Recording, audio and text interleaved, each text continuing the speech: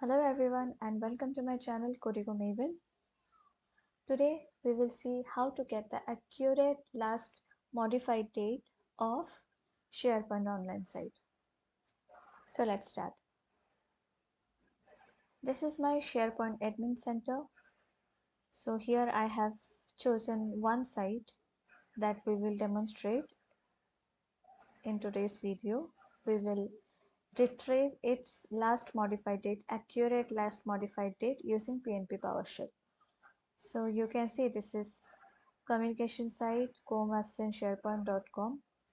If I scroll to my right further, I can see the last activity that is the last modified date for this site is 14th of November 2022.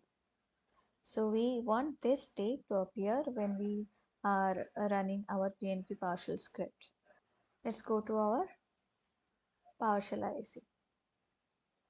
We will connect to that SharePoint online site.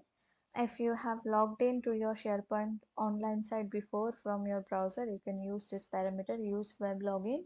No need to provide a credential for it. So I'm running this command so you can see this command has been run successfully and now I am connected to my SharePoint online site. Now after connection I am getting that PNP web and including last item user modified date in OWeb variable. Let's run it. So it has been run successfully. So from OWeb getting that last modified date in a variable called o content modified date. Now simply we will display this variable on our screen.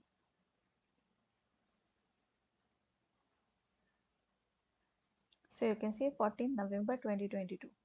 So if we go here and in SharePoint Admin Center and see this site's last modified date, it exactly matching this last activity date. So if you wish to get the accurate last modified date from SharePoint admin center for a SharePoint online site, then use last item user modified date property instead of last item modified date property.